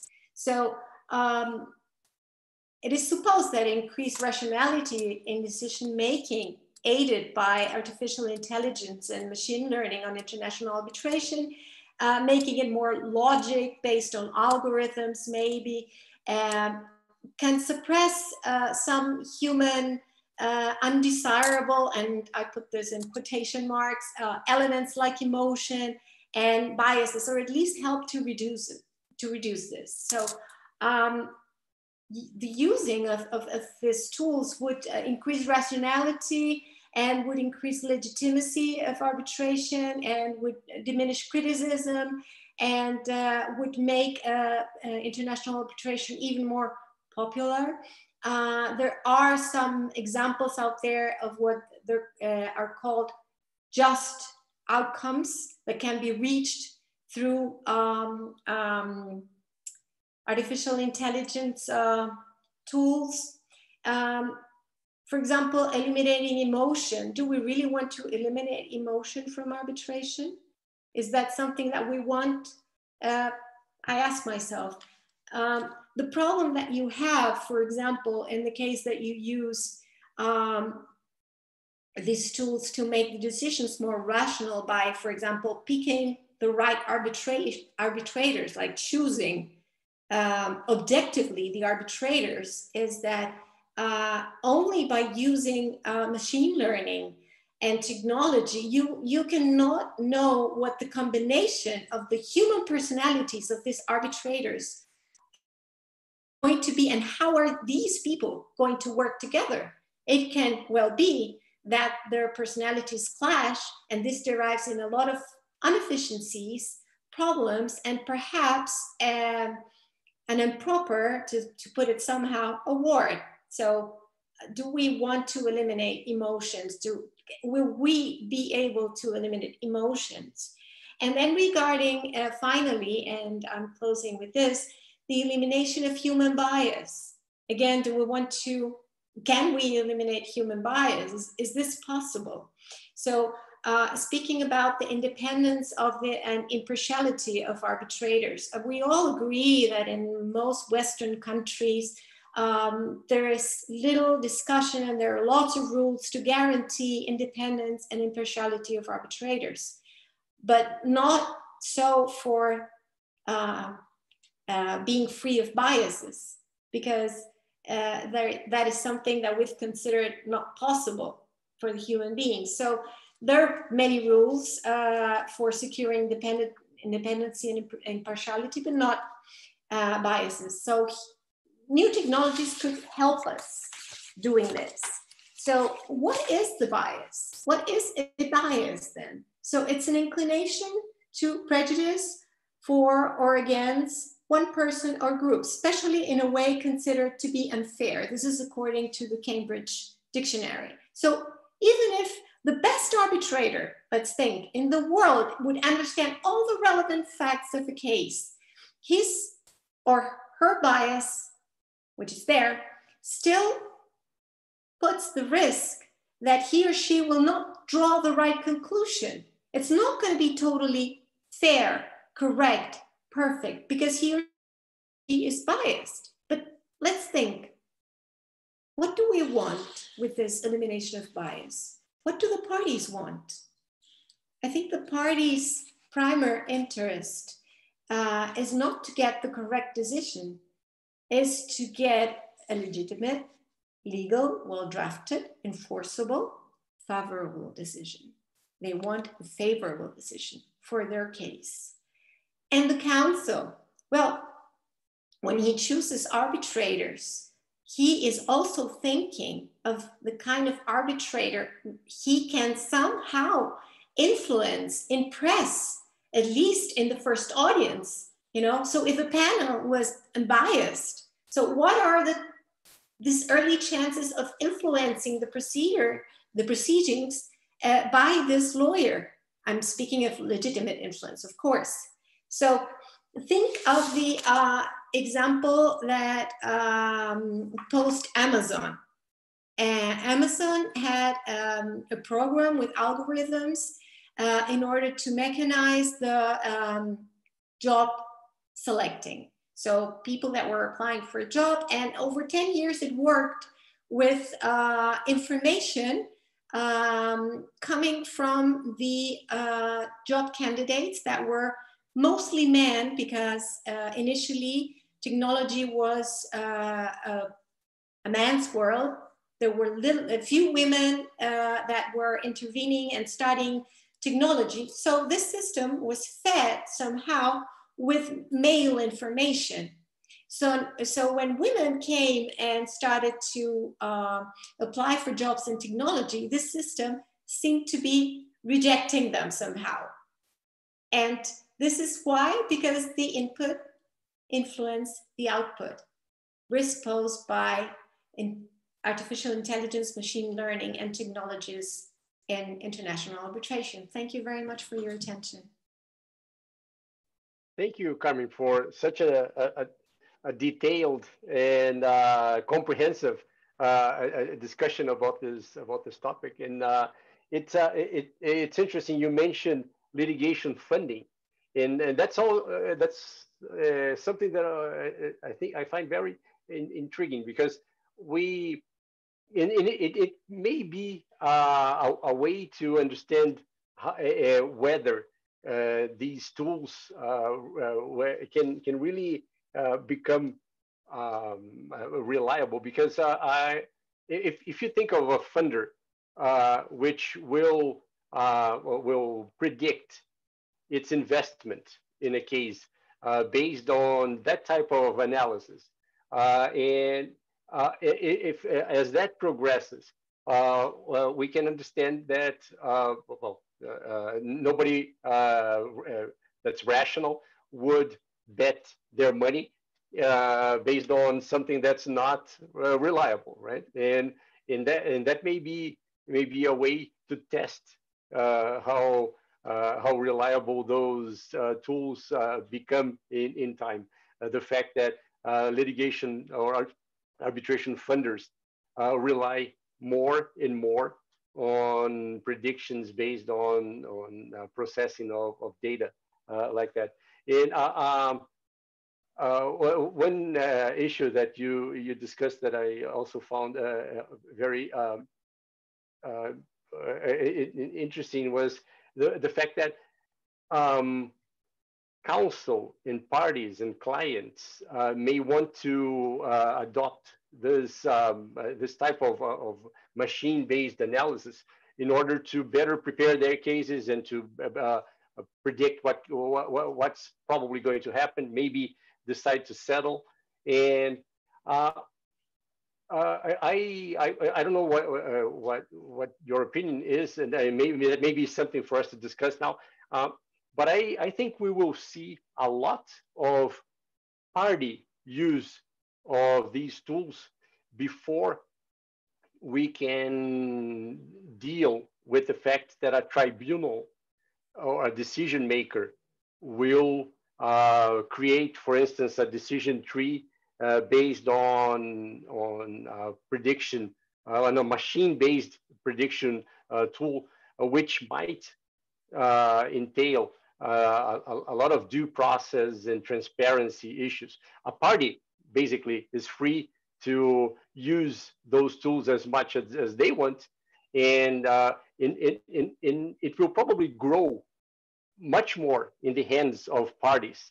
And it, until it becomes uh, something that we, we understand is truly useful and may, may escalate to the level of decision makers before we actually have to deal with that before we have to uh, have a hearing in which a tribunal will discuss how they will build, how they will structure a decision tree in order to uh, have an algorithm that will process thousands and thousands of, of documents and information and come up with a, with a draft decision that uh, the tribunal will then discuss. Okay, well, we have some questions from the audience. I think we can um, start with that. Uh, and then um, the first questions that we received were about uh, Sophie's um, discussion. Uh, and um, uh, I, I, don't know, Sophie, have you have you taken a look at the Q and A here? Because uh, these are two uh, two questions by Pedro Ribeiro from the Brazilian branch, and they the, the first one basically deals uh, with the fact that um, uh, uh, the latest uh, economics theories are, are, are moving away from the presumption of a rational behavior and uh, in, in, showing that people um, act with emotional bias uh, as well. And um, if we think of a Kleros type of, of decision, um, uh, uh, in uh, that, which is basically a reflection on what we think others people or other people or other people will decide. the question is, wouldn't that be only unjust, but even possibly illegal? And then um, that question is complemented based on what Paresh said later. And um, uh, um, is there a way for us to have some certainty that uh, when when people vote for what they think other people will vote for, uh, that uh, uh that could be uh, the best decision from a social point of view. So, can you comment on that, please? Yes, Pedro, thank you very much for extremely insightful questions, and you're hitting obviously at the nub of, um, of the concerns about the Kleros model of justice. I will take your second question first because um, the question is, you know, voting according to the Schelling point, i.e., how do I think others will vote? Other people who are my peers who also want maximum financial gain. Uh, how, is that the best way from a societal perspective? And that answer, the answer to that question rather is you know, where does the new society, the decentralized society, places its trust? And the question, the, the answer is as well, if, if um, participants in e-commerce uh, trust their peers above others or will say to themselves, no decision making uh, system is perfect, but I prefer the judgment of peers to the judgment of a centralized authority that I don't that I don't think is you know acting in my best interests, then uh, the answer to your question is yes, it's the best decision from a social point of view. Uh, it really that what I find fascinating about blockchain and Kleros, as I said at the beginning, is that it forces us to rethink society, and we are living in a world where um, this the importance of social media and the value given by, to, to what other people think of our pictures, our holidays, our achievements on LinkedIn is immense. Uh, it is way bigger than it used to be. Um, so it's a, not such a big step to start from that sort of environment and go to uh, an environment where justice is dispensed by those people whose likes we value so much. I'm projecting, of course. Uh, so that's, I think you're, that that's why you, I think your second question hits at the at the very, and I, I don't have a view on that. I think that's a way, a way that society will evolve. And for the e-commerce disputes, where participants are often from across the globe, uh, don't know each other, will never interact again. Uh, it may well be that peer-to-peer -peer is the is the way that carries the most trust from a social perspective. Uh, on your first point, um, is the Schelling point decision making leading to uh, fairness or illegality? Uh, if it were applied to uh, decisions where, uh, I, I, that's my answer, and then I'll give you Kleros's answer. My answer is yes, absolutely. Uh, if you are applying a pure Schelling point perspective of maximum financial gain to a legal dispute. At the moment, we're not talking about that because, as I said, these are mostly crypto listing disputes where you look at criteria for listing a token and then you decide if that meets or not the criteria. So the, the, the justice element is very slim. Uh, but, but for something legal, definitely, you're absolutely right that the Schelling point and, and legality don't necessarily coincide. The, the Kleros answer to your question is all of this is rectified by the appeal system because with every appeal, the number of jurors is exponentially bigger. And so statistically, the greater number of people will get to the right answer. I find there's a lot of problem with that answer, but that's that's what they're saying. I think the model needs a refining essentially uh, from, from its very experimental uh, start. Thank you. Uh, Paresh, I, I, I, have a question for you based on something that Sophie said in the beginning. Uh, uh, we uh, the what, what, one of Kleros's um, first concern was the lack of justice in there in the well, uh, I think Sophie you mentioned that uh, one of the creators of Kleros is from Argentina right? Which is uh, has a, similar problem the, the one we we have in Brazil and, and probably most um, emerging markets but um, um, Paresh, uh, and, and you, Paresh, uh, mentioned specifically that your your your work with refugees, and um, the, the, idea of uh, this uh, uh lack of justice uh, based on the traditional way of delivering justice. Uh, how, how, how do you think that influences the the way we should see uh, instruments such as Kleros or some other alternative uh, uh, way of dispensing uh, justice. Uh, how, how, does that balance with the, of course, the ethical and the legal difficulties of that kind of, of alternative? Um, if, is that something that you think is decisive for us to maybe see um, uh, an alternative system uh, like that uh, as uh, possibly inevitable in terms of reaching uh, a, a, a, an adequate level of dispensation of justice? It's an interesting question. I'd just like to pick up on something that Sophie said about social media. Um, and again, I'll give you the historical context first. If we go back before social media, human relations were built upon, of course, interaction, communicating with each other, sitting over a, meal and having a, a, conversation. Now, what we tend to find is that um, even the small things like conversations are being, you know, mediated through, through technology, WhatsApp, uh, Twitter, other forms of technology. And I think there's a risk. Of course, these forms of technology are good, but there's also a risk that even in our everyday communications, they'll become automated and instrumentalized.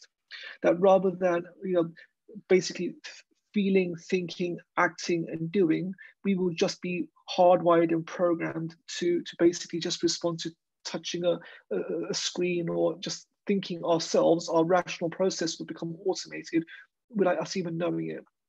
And if we take this on an individual level and project it up to a social level, I guess there is always the fear or the risk that we're moving towards a society which, in and of itself, is becoming largely automated. And we're beginning to lose our touch of what it means to be human and with all those feelings and emotions that we have. And we're kind of, they're now being replaced by, well, you know, what's the what's the number, what's the code, and what's the algorithm. So and that's one of the reasons I'm so attached to the sort of human and the philosophical things. I think there's an element of, of, of the something within us that we need to rescue ourselves, rescue what it means to be human. But I feel that going to the future, what we'll see is largely more automation, and we'll see a, a we'll see legislation which will be turned from words into code in order to make it uh, computer friendly. Life will become much more automated, and ergo justice will become a lot more automated. So that if I want to know what's just, what's right, what's wrong, rather than working it out for myself, I'll be turning to a machine and typing into a computer and asking a machine will just tell me what it is. And that's not a bad thing. I mean, I'm not completely against technology. I, I, I tell I, I'm actually pro technology. But what I'm saying is that within that technology, we should not lose what it means to be ourselves as well. And, and you know, we see it these days. You go to like a restaurant, you see couples talking, not talking to each other on the phone, etc. I, I, think we need to arrest ourselves from that and what I see is an also greater objective and automated form of justice where we lose ourselves in that. Thank you. Uh, and I have one final question here for uh, Damien and Carmen. Uh, it's asked, uh, it's, uh, may, you may be able to see it here on chat. Uh, and it, it, was asked by Mauricio Gom, our friend also from the Brazilian branch and um, it deals uh, with uh, uh, something that Damien mentioned, the uh, uh, uh, multiple language um, possible feature of ODR and in, a, in a combination with artificial intelligence. the, the, the question has to do with the difficulties in multi-language communication in international arbitration and uh, in, in, the, in asks whether uh, at one point we will have uh, artificial intelligence um, uh, uh, capabilities that will be, uh, be, be, able to supersede the need for actual translators and interpreters and or, or, or is that something that we will not see a, a, a, machine uh, that's able to uh, grasp the subtleties of emotion in language, and especially if you have to deal with multiple languages. Um, uh, what's your your views on that, David? Yeah, so I'd like to say that quite a start anyway. Um, so, so actually, uh, interestingly, this is something that we're exploring uh, right now. Um, and um, there are some challenges. Uh, technology exists today to make speech um, to text um, in an automated way, um, and then translating it. Um, that that actually exists today as technology. The, the the challenge is the accuracy, and uh, that's partly driven by if the language is English to Spanish, for example, English to Portuguese. Um, that's probably going to be more accurate um, than than English uh, to to a, a less well-known language. Um, and um, the, the, the accuracy, uh, the nuance, uh, I think you used that word, um, is missing. Um, the, the, the, context can be used, and, and there's great strides um, using, let's call it artificial intelligence, uh, machine learning, but uh, right now, the technology is not there to, to be completely accurate. Um, definitely misses stuff. Um, if you if you want something that uh, a quick transcript at the end of a, of a session, um, then that technology exists now, now, and um, that can be very useful to remind you about certain things that were said, or, or if, it, they were speaking in another language or, or had an accent um, that you couldn't quite grasp. Um, then then then you can have that at the, the end of, of a hearing now that, that exists today. In the future it will get better and better and it is getting better and better. I mean google translate um, is improving you know for certain languages the accuracy is, is improving but we all know the, the experience of, of google translate um, can can get it right can get it horribly wrong as well. Um, so it's coming definitely coming but now that technology to interpret translate exists okay and lost pereira uh, Cesar. So while he comes back, maybe I can um, compliment what you were saying, Damien. I, I fully agree. Um, there is a platform which uh, I used uh, uh, when I did an ODR certification course with Daniel Rainey and Ana Gonzalez uh, called Kudo that offers the possibility or offered the possibility of uh, uh, simultaneous translation between uh, English and Portuguese. And Cesar is back. And, but um, you're back, Cesar. But regarding language, I, what I wanted to say is that language is not just words. Language um, is culture. Language is local emotions. Language is uh, the story of that uh, people. Language is uh, it's the ancestral memory. So uh, when you are trying to translate from different languages, you find lots of words that have no word-to-word translation in another language. We have many in Portuguese, many in Spanish, and in other languages as well, German, French. And so the thing is, yes, we're walking towards there and it's getting better and better, and it is useful. Uh, I don't think we should reject it, but I think, again, we should use our critical mind to understand when it's put to the best, uh, to be used with the best interest of everybody, because sometimes words combined with culture and emotion may say something totally different than what a machine can understand. So that has to be taken into place, especially uh, in arbitration, arbitration proceedings, my opinion. Yeah, uh, uh, yeah, it's uh, it's ironic that I I got, I got disconnected here by technology, right? In this uh, technology in uh, in dispute resolution webinar.